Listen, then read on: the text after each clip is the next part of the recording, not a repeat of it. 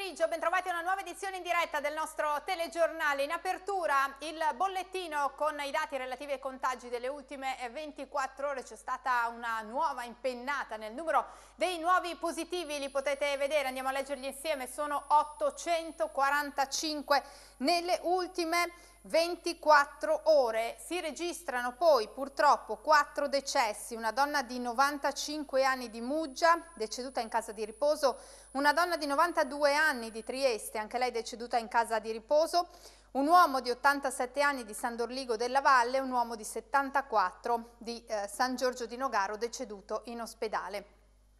Salgono, come potete vedere, le persone ricoverate in terapia intensiva, che oggi sono 28, e salgono anche i pazienti ricoverati in altri reparti di ben 17 unità rispetto a ieri. In tutto in questo momento sono 249 i malati di Covid ricoverati in regione nei reparti ordinari. Ci sono 6.329 persone in isolamento, ci sono nuovi casi tra il personale sanitario, sono una trentina oggi tra le varie aziende sanitarie e ci sono anche 23 casi tra gli ospiti delle residenze per anziani presenti in Regione, Trieste, Muggia, Grado, Azzano X e San Daniele del Friuli ed è stata riscontrata la positività di 10 operatori all'interno delle stesse strutture.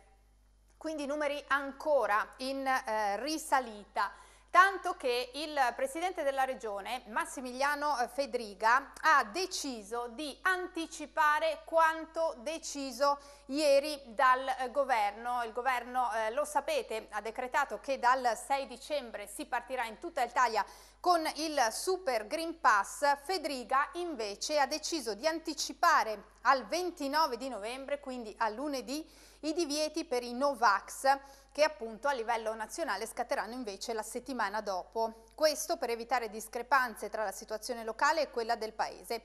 In zona gialla quindi i vaccinati e i guariti non avranno limiti, tranne quello della mascherina all'aperto. I cittadini non immunizzati invece da lunedì potranno recarsi solo al lavoro e sui mezzi pubblici grazie al tampone negativo. Per bar, ristoranti, teatri, piscine, palestre e altri luoghi dello svago l'accesso sarà possibile solo con il vaccino o la eh, guarigione numeri che eh, appunto continuano ad essere in salita, l'occupazione dei reparti ospedalieri è eh, oltre le soglie di guardia al 14%, 18% per le medicine, è salita l'incidenza è arrivata a 288 casi per 100.000 abitanti, in crescita i focolai attivi che passano da 1110 a 1528 e aumentano anche i casi per i quali il tracciamento è saltato. Questa dunque è la situazione e le eh, relative eh, decisioni con gli esercenti che dovranno essere alle prese a breve, tra pochi giorni, con questo nuovo strumento che è il eh, Super Green Pass. E allora andiamo a eh, sentire che cosa ne pensano tutti i nostri clienti sono sempre più che disponibili, insomma diamo tante volte per scontato che chi entra dentro ce l'abbia, non è sempre così, quindi anche nei momenti magari di picco, tipo il venerdì pomeriggio o il sabato, quando la gente entra e si sieda, io e i miei collaboratori subito andiamo con l'app Covid-19 a verificare insomma, che il Green Pass ci sia, quindi no, ad oggi nessun problema. Indicativamente comunque hanno tutti il, il, Green Pass più o meno? Diciamo che al, sì, al 99% abbiamo sempre trovato gente col Green Pass sicuramente, è ovvio che qualche magari defezione c'è stata, c'è quello che dice ah l'ho dimenticato in macchina e poi magari non ti torna, o quello che dice sì sì eccolo qua e poi ad occhio vedi che insomma la data di nascita è un pochino fuorviante, quindi dici ok siamo sicuri che sia proprio il suo e quindi magari dicono no forse ho sbagliato a darle quello di mio figlio, adesso vediamo però insomma ad oggi va tutto bene, mettiamola così dai. Però qualche caso insomma c'è stato, di qualche qualcuno caso... che ha provato a fare il furbo. Sì, diciamo che qualche furbetto c'è stato e ci sarà sempre, la mettiamo così, però ad oggi sono veramente casi sporadici. Dal 6 dicembre eh, potrà venire da voi solamente chi è vaccinato, quindi non chi ha il Green Pass da tampone. Come hanno preso i clienti e come avete preso voi anche la notizia? Beh, allora, partendo dal presupposto che sia io che tutti i miei collaboratori siamo tutti vaccinati, eh, abbiamo detto anche che dal primo dicembre gli over 18 potranno fare la terza dose, quindi ci metteremo già in lista noi. Eh, I clienti ad oggi, tutti i clienti che si siedono dentro ovviamente sono favorevoli, perché vuol dire che si sono già schierati eh, dalla parte di chi vuole fare il vaccino e crede nella scienza ad oggi.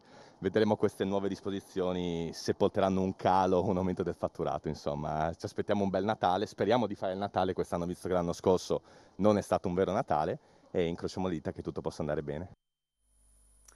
A proposito di eh, vaccini, l'Agenzia Europea per i Medicinali, eh, l'EMA, ha raccomandato di concedere un'estensione dell'indicazione per il vaccino eh, Covid di eh, Pfizer per includere l'uso dei bambini di età compresa tra i 5 e gli 11 anni. Si legge in una nota dell'EMA, il vaccino è già approvato per l'uso in adulti e bambini di età eh, superiore ai 12 anni. La commissione tecnico-scientifica dell'Agenzia Italiana del Farmaco è stata convocata la prossima settimana dall'1 al 3 dicembre con all'ordine del giorno anche la valutazione della pronuncia dell'EMA sulla vaccinazione anti-Covid per la fascia pediatrica 5-11 anni. Andiamo ora a dare un'occhiata alla eh, mappa elaborata dal Centro Europeo per la Prevenzione e il Controllo delle eh, Malattie. Aggiornamento di oggi, notiamo subito che la situazione dell'Italia è decisamente peggiorata, non ci sono più regioni in verde e eh, c'è solo l'arancio, il rosso e il rosso scuro. Anche la Sardegna, che era rimasto ultimo baluardo verde fino alla settimana scorsa, ora è passata in arancione. Di tutte le regioni italiane, ovviamente quelle messe peggio sono eh, Bolzano e il Friuli Venezia Giulia, che lo vedete sono colorate di eh, rosso scuro. Eh, il Friuli fa anche segnare il dato peggiore per quanto riguarda le terapie intensive.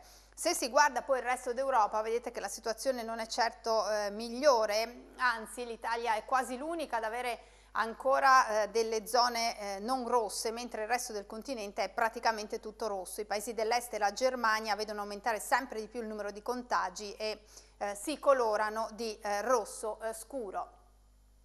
Torniamo in Italia e andiamo a vedere come si stanno eh, preparando le città all'arrivo di questo ennesimo Natale diverso. Mascherine all'aperto, transennamenti e piazze numero chiuso. Le città italiane si preparano a un altro Natale in epoca Covid e varano misure per contenere la folla dei giorni di festa, che potrebbe innescare contagi e focolai. Sotto la lente, in particolare, i centri storici e le principali vie dello shopping, prese d'assalto a dicembre per gli acquisti natalizi. Massima attenzione anche ai tradizionali mercatini, ai luoghi simbolo e alle attrazioni abitualmente visitate dai turisti. Per la capitale, le misure sono ancora allo studio, se ne discuterà nelle prossime prossime riunioni del Comitato Provinciale per l'Ordine e la Sicurezza. Tra le ipotesi sul tavolo potrebbero esserci transennamenti nelle principali vie dello shopping del centro storico e accessi contingentati nelle piazze più frequentate, come già avvenuto l'anno scorso. Il prefetto di Milano invece ha inviato una lettera al sindaco Giuseppe Sala e a tutti i primi cittadini dell'Interland per invitarli a prevedere con eventuali ordinanze l'uso della mascherina anche in luoghi all'aperto dove ci sono particolari affollamenti come i mercatini di Natale. La lettera è stata inviata al termine del comitato per l'ordine pubblico con l'obiettivo di far restare la Lombardia in zona bianca nonostante l'aumento dei contagi. In altre città i primi provvedimenti sono stati già decisi.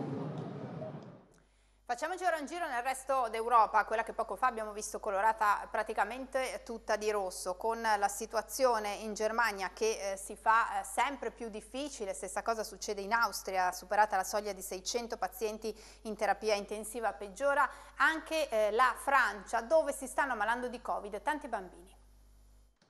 L'Europa è di nuovo costretta a mobilitare tutto il suo arsenale per evitare un inverno devastante a causa della pandemia. E così si riaffacciano le restrizioni anche draconiane che si sperava fossero state archiviate. La Francia si prepara ad un ulteriore giro di vite per salvare le feste di Natale, spaventata da una crescita mai vista di contagi tra i bambini. La Slovacchia, dopo l'Austria, ritorna in lockdown. In Germania anche Angela Merkel avrebbe voluto chiudere tutti in casa, ma i leader della prossima coalizione di governo hanno respinto la richiesta, nonostante numeri da bollettino bollettino di guerra. Il vecchio continente è malato sempre più gravemente con oltre 2,5 milioni di contagi, quasi 30.000 decessi nell'ultima settimana e una tendenza in aumento, soprattutto perché, ha rilevato l'Organizzazione Mondiale della Sanità, il 45-47% della popolazione europea non è vaccinata, così come la maggior parte delle persone in terapia intensiva. Anche il Centro Europeo per le Malattie, le CDC, ha insistito sui vaccini ma ha chiesto ai governi uno sforzo ulteriore, anche se impopolare, adottare misure misure non farmaceutiche, ossia rigide restrizioni ai contatti sociali. In Germania, dove gli esperti stimano che l'incidenza del Covid sia fuori controllo, la cancelliera Angela Merkel si è convinta della necessità di una linea durissima.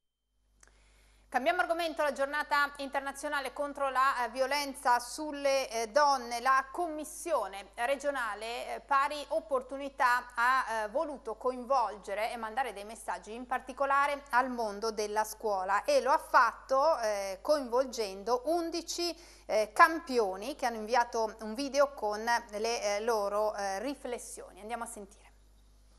Dusi Marcolin, Presidente della Commissione regionale Pari Opportunità, ha presentato un video degli sportivi con i loro messaggi che finirà nelle scuole. Quanto potrà aiutare a, a costruire una cultura del rispetto? Beh, io credo e sono convinta, come tutta la, la Commissione, che questo servirà moltissimo perché un modo per raggiungere i ragazzi era proprio quello di farlo fare attraverso i loro beniamini. Abbiamo cercato di, di, di, diciamo, di prendere il meglio da ogni pratica sportiva rimaniamo aperti a eventuali nuovi contributi che vorranno arrivare proprio per arrivare il più possibile dappertutto dai ragazzi, partendo dai ragazzi delle scuole. È incontrovertibile il fatto che oltre che la formazione, la comunicazione, in questo caso testimonial sportivi verso cui i ragazzi, le giovani e le giovani, i giovani si identificano, per eh, interiorizzare un messaggio di rispetto che è quello contro la violenza, qualsiasi violenza, ma specialmente quella contro le donne e va, deve andare di pari passo anche con eh, un sistema di deterrenza importante. E molte volte anche il sistema, i, i giudizi, i tribunali eh, che eh, in qualche modo giudicano no? chi compie violenza eh, ah, in questo paese stranamente eh, fa passare forse molte volte la donna eh, come colei che magari ha, ha, fatto, ha contribuito oppure con l'atteggiamento ha favorito, cioè c'è in qualche modo ecco, una, un approccio che rischia di non essere invece fermo come deve essere quello della deterrenza contro la violenza. Questa giornata 65 comuni del territorio regionale stanno celebrando questa giornata che non è mera celebrazione perché al di là delle iniziative legislative sulle quali possiamo, possiamo intervenire è necessario un dato fondamentale, la certezza della pena per questi reati.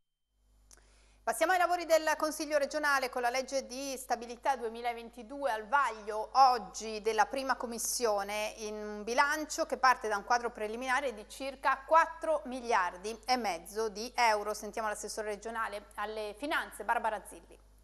È una finanziaria molto robusta, conta su 265 milioni di euro in più rispetto alla finanziaria approvata l'anno scorso. Questo è il frutto sia della felice trattativa con lo Stato sui patti finanziari da parte del Presidente Fedriga, ma anche della tenuta delle entrate. Noi abbiamo eh, ragionato in questo momento allocando di queste risorse in più ben 157 milioni destinati all'importante eh, ruolo che ha la persona per noi nella comunità regionale. Quindi attenzione al sistema casa, alla legge sulla famiglia che ha una dotazione importante di 25 milioni di euro per il suo avvio, all'edilizia scolastica per i nostri bambini e ragazzi ed anche al finanziamento della spesa corrente per gli enti locali. Queste sono alcune delle poste cui si affiancano risorse importanti per gli investimenti che vanno ad irrobustire tutte quelle linee contributive di finanziamento che dall'inizio della legislatura abbiamo attivato. Per quel che riguarda i 100 milioni che devono essere ancora allocati, qual è l'indirizzo dell'amministrazione regionale?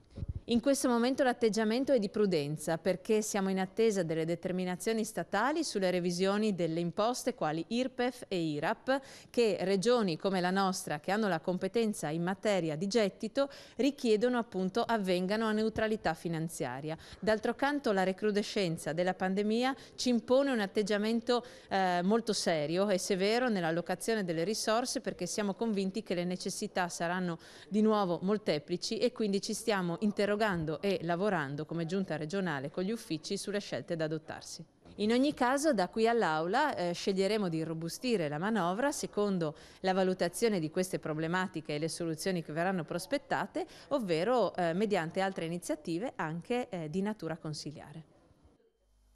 Andiamo a sentire ora eh, l'assessore regionale alla difesa dell'ambiente Fabio Scoccimaro nel corso della presentazione della fase operativa del progetto RECAP Recuperiamo insieme le eh, capsule di plastica portato avanti dalla regione in stretta collaborazione con due grandi player del settore caffè come Illy Caffè e eh, Nestlé. Presentata la fase operativa del progetto RICAP, recuperiamo insieme le capsule di plastica, portato avanti dalla Regione Friuli Venezia Giulia in stretta collaborazione con due grandi player del settore del caffè come Illy Caffè e Nestlé e con i gestori dei rifiuti urbani Acegas APS Amga, NET e AET 2000. Questa nuova fase di recap ha preso il via oggi, durerà tre mesi coinvolgendo i comuni di Trieste, Udine, Campoformido e Pasian di Prato con modalità diverse di conferimento delle capsule esauste che saranno raccolte in un sacchetto appositamente confezionato messo a disposizione dei cittadini. A Udine saranno utilizzati gli sportelli della NET in via Duodo e in via Gonars, mentre le capsule andranno consegnate al centro di raccolta di via Stiria. Nei comuni di Pasian di Prato e Campoformido la raccolta avverrà con il sistema del porta a porta attraverso il gestore IT 2000. Gli utenti dei comuni interessati riceveranno una newsletter via mail con la quale sarà richiesto di partecipare alla raccolta compilando un modulo di adesione. Entusiasta dell'iniziativa l'assessore regionale alla difesa dell'ambiente Fabio Scoccimarro. Passiamo dalla poesia alla prosa e andiamo nel, nello specifico a mettere insieme due grandi colossi del caffè con tre società regionali di appunto, raccolta e riciclaggio dei rifiuti per andare nel senso di questo progetto RECAP che andremo ad utilizzare le cialde di plastica appunto del caffè. È una cosa innovativa, siamo i primi certamente in Europa e va nel senso di quella che è il riciclo dell'economia circolare. Quindi andiamo nel, nel dettaglio, nel, nei fatti, a poter riciclare questi materiali. Prima di salutarci gli appuntamenti delle prossime ore su Udinese eh, TV, eh, innanzitutto quelli con l'informazione che torna alle 19 live, live nell'edizione della sera, alle 19.30 pillole di fair play, alle 20.30 l'edizione Veneto, alle 22.30 l'edizione della notte. La prima serata come ogni giovedì è eh, dedicata all'agenda di Alberto eh, Terasso questa sera alle ore 21. Ci fermiamo qui, grazie per averci seguito, a più tardi.